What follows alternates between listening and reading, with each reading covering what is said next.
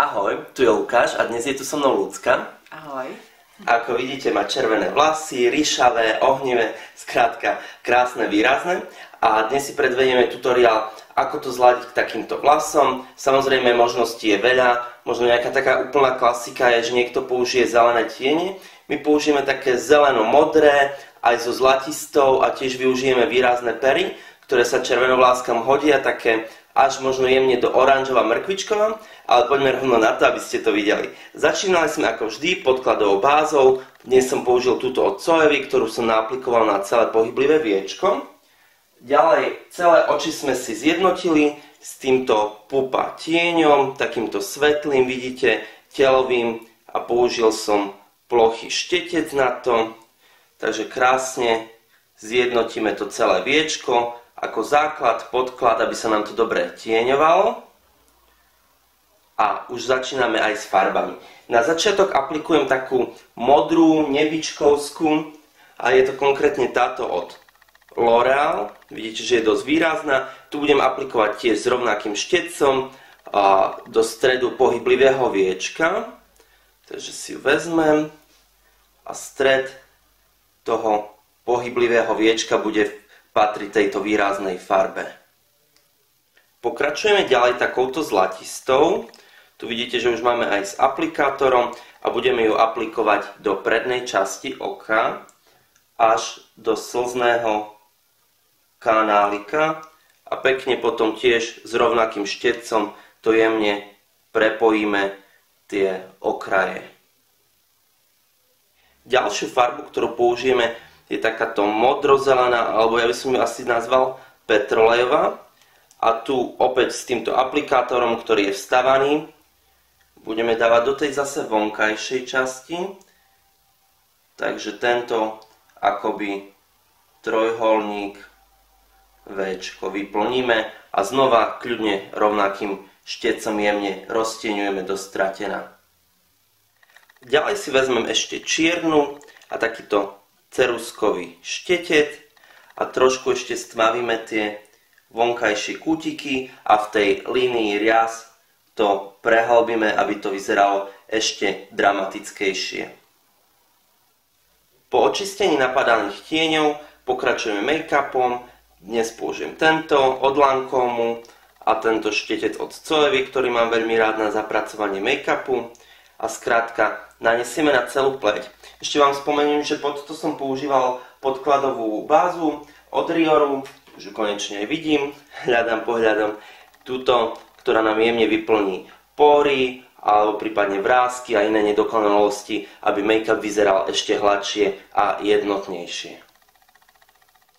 Pod oči sme ešte z rovnakého make-upu použili aj tento korektor, takže v tom je super, že je taký akoby dva v jednom. Podobný máte aj Dermacol Caviar, ktorý viete, že tiež obľúbujem. Ďalej sme si tvár prepudrovali. Na to som použil ako klasicky v poslednej dobe skosený štetec, ktorý za chvíľu využijem aj na kontúrovanie a použil som od pupy tento transparentný púder, sypky, ľahučky, veľmi príjemný, pekne zmatný, zároveň nezvýrazňuje nejak pory, vrázky a podobne.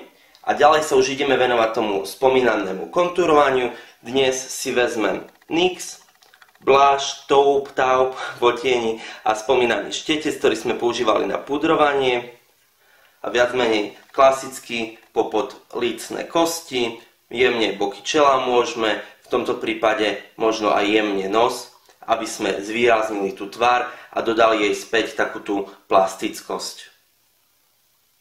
Po vykontúrovaní aplikujem lícenku, takúto koralovú, vidíte, že má aj taký akoby jemne oranžovo-červený podtón, kľudne rovnaký štetec, pre rýchlosť a jednoduchosť a len na jablčka líc a smerom dozadu dodáme jemne farbu a šťavu tej tvári.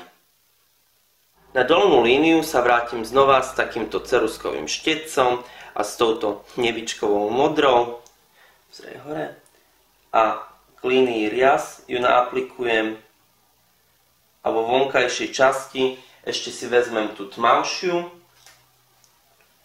tú petrolejovú, ktorú sme dávali. A len stmavíme jemne ešte ten vonkajší kútik.